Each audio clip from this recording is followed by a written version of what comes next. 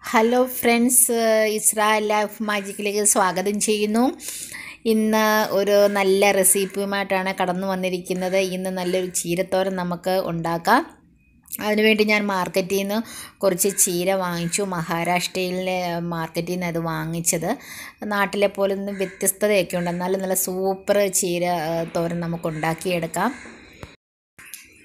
ഞാൻ ചീര നല്ല വൃത്തിയായിട്ട് അരിഞ്ഞ് എടുത്തിട്ടുണ്ട്. ഇതെങ്ങനെ നമുക്ക് ഉണ്ടാക്കാമെന്ന് നോക്കാം. ആദ്യം നമുക്ക് ഇൻഗ്രീഡിയൻസ് എന്തൊക്കെ വേണമെന്ന് നോക്കാം. നമുക്കതിന് വേണ്ടി ഒരു മിക്സ് ജാർ എടുക്കാം. അതിലേക്ക് നമുക്ക് ആവശ്യത്തിന് തേങ്ങ ഇട്ട് കൊടുക്കാം. അതിനുശേഷം നമുക്ക് വേണ്ട ഇൻഗ്രീഡിയൻസ് വെളുത്തുള്ളിയാണ് ഞാനിവിടെ മൂന്ന് നാല് എടുത്തിട്ടുണ്ട്. നിങ്ങളുടെ നിങ്ങൾ എത്രത്തോളം നിങ്ങളുടെ ഇഷ്ടമാണ് എത്ര എടുക്കണമെന്നുള്ളത്. അതിലേക്ക് ഞാൻ കുറച്ച് ജീരകം ഇട്ട് കൊടുക്കുന്നുണ്ട്. നമ്മുടെ നാട്ടിൽ അരകല്ലിലാണ് നമ്മളിത് ചതച്ചെടുക്കുന്നത്. ഇവിടെ മഹാരാഷ്ട്രയിൽ ഇവിടെ അരകല്ലില്ലാത്തത് കൊണ്ടാണ് ഞാൻ മിക്സിയിൽ ഒരൊറ്റ ഓണിൽ ഒരടി അടിച്ചിട്ട് ഇതെടുക്കുന്നത് ഞാൻ ഇത് എങ്ങനെയാണ് ചെയ്യുന്നത് നമുക്ക് നോക്കാം. അതിലേക്ക് മഞ്ഞൾപ്പൊടി നമുക്ക് ഇട്ട് കൊടുക്കാം ആവശ്യത്തിന്. നമുക്കിത് മിക്സിയിൽ അടിച്ചെടുക്കാം. ഇൻഗ്രീഡിയൻസ് എല്ലാം ഒരു പ്രാവശ്യം മിക്സിയിൽ അടിച്ചെടുത്തിട്ടുണ്ട്. ഇങ്ങനെ അത് കിട്ടും. നമ്മൾ ഒത്തിരി അരയാൻ പാടില്ല. ചെറുതായിട്ട് ഇതുപോലെ തന്നെ അത് ചെയ്തെടുക്കണം. നമുക്ക് കുക്ക് ചെയ്ത് തുടങ്ങാം. അതിന് വേണ്ടി ഇതുപോലൊരു പാനാണ് ഞാൻ എടുത്തിരിക്കുന്നത്. ഇച്ചിരി കുഴിയുള്ള പാനാണ്. അതിലേക്ക് നമുക്ക് ഗ്യാസ് ഓണാക്കി കൊടുക്കാം. അതിന് ശേഷം പാൻ ചൂടായി വരുന്നുണ്ട്. നമ്മൾ എടുത്തു വച്ചിരിക്കുന്ന ഇൻഗ്രീഡിയൻസ് എന്ന് പറഞ്ഞത് മുളക് ഇതുപോലെ അരിഞ്ഞിട്ടുണ്ട്. പിന്നെ കറിവേപ്പിലയുണ്ട്. സവാളയാണ് എടുത്തിരിക്കുന്നത്. ചെറിയുള്ളി തീർന്നു പോയതുകൊണ്ടാണ് കുഞ്ഞുള്ളി ആയാലും നല്ലതാണ്. ഇതുപോലെ ചെറുതായിട്ടാണ് ഈ പ്രാവശ്യം ഞാൻ മുളക് അരിഞ്ഞിരിക്കുന്നത് വലിയ എരിവൊന്നുമില്ല. സാധാരണ ഞാൻ നീളത്തിലാണ് അരിഞ്ഞിടുന്നത് മക്കൾ കഴിക്കുന്നത് കൊണ്ട്.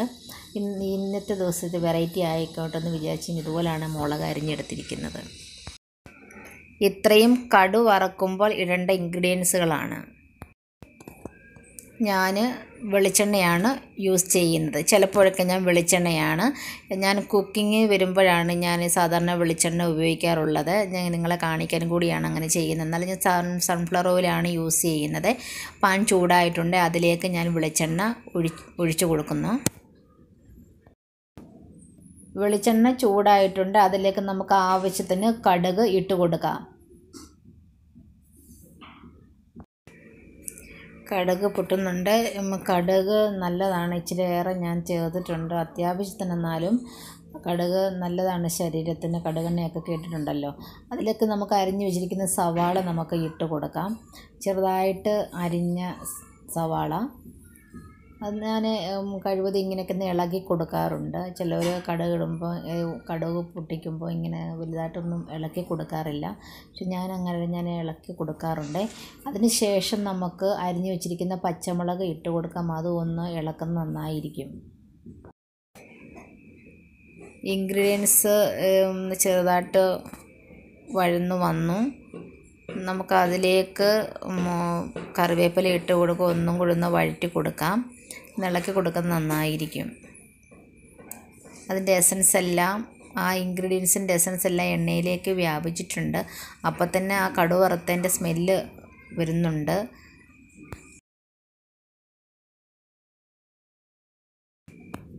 ഈ ചതച്ച് വെച്ചിരിക്കുന്ന കൂട്ട് നമുക്ക് എങ്ങനെ നമുക്ക് ഇത് റെഡിയാക്കി എടുക്കാമെന്ന് നോക്കാം.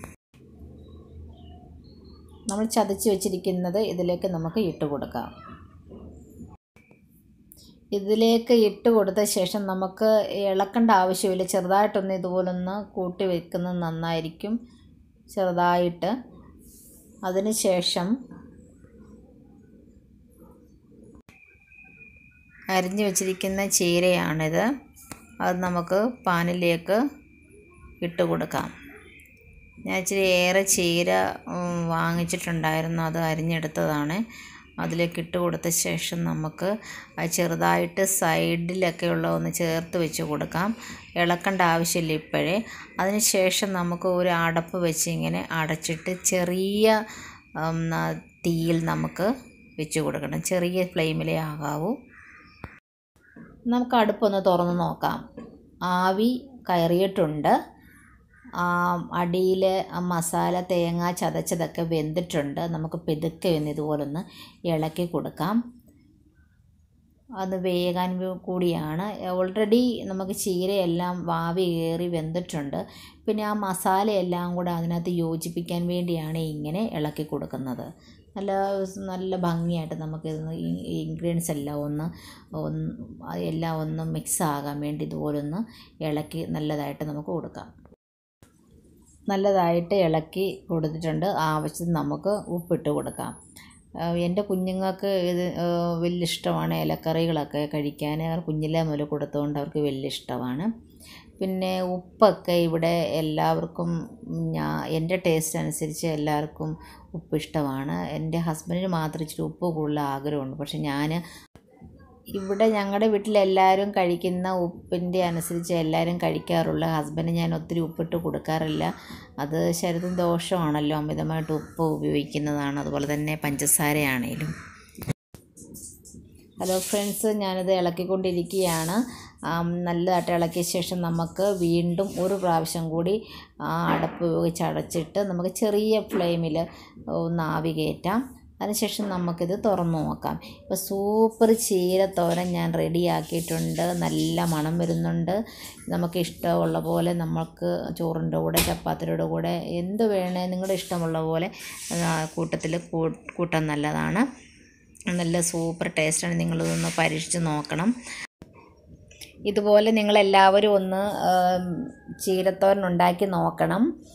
നല്ല ടേസ്റ്റാണ് ശരീരത്തിനൊക്കെ നല്ലതാണ് ബ്ലഡ് ഉണ്ടാകാനൊക്കെ നല്ലതാണ് രക്തശുദ്ധിക്കൊക്കെ നല്ലതാണ്. പിന്നെ എന്നെ പ്രോത്സാഹിപ്പിക്കുക ഇഷ്ടപ്പെട്ടെങ്കിൽ സബ്സ്ക്രൈബ് ചെയ്യുക ലൈക്ക് ചെയ്യുക കമന്റ് ചെയ്യുക. നിങ്ങളുടെ വിലയേറിയ എന്താ പറയേണ്ടത് പ്രോത്സാഹനമൊക്കെ എനിക്ക് വേണം. എല്ലാവരും എന്നെ ഹെൽപ്പ് ചെയ്യുമെന്ന് വിശ്വസിക്കുന്നു. ഇനി ഒരു നല്ല ഒരു വീഡിയോയുമായി വരും വരെ എല്ലാവർക്കും നല്ല ഒരു ദിവസം നേരുന്നു. അതുപോലെ തന്നെ എല്ലാവർക്കും god bless you